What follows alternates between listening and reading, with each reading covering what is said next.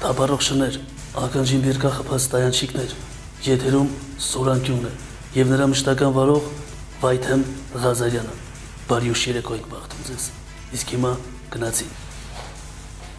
Երեք մեր նկարանու խումբը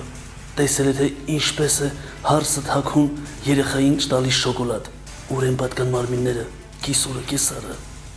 Այս եւ այլ թեմաներ Գագիկ Շամշանի Ալլահ ակբար տեսաշարում։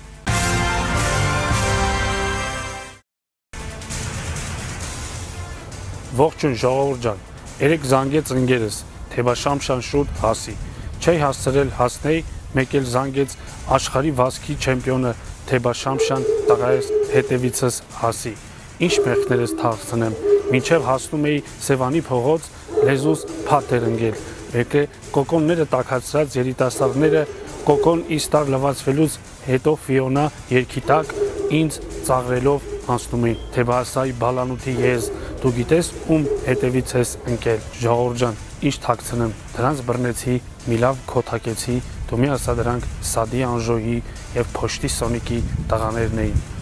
գագիկ շամշյան շուշա թող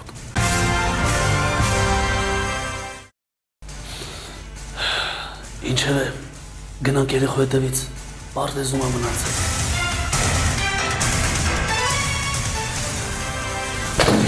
Wow!